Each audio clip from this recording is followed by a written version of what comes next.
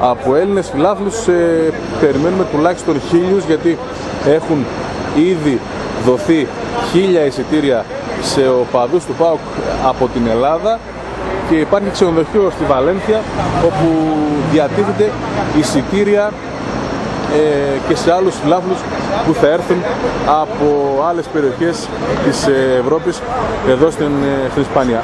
Να πούμε ότι 1000-1200 κάπου εκεί θα βρεθούν στο, στο Μαδριγάλ.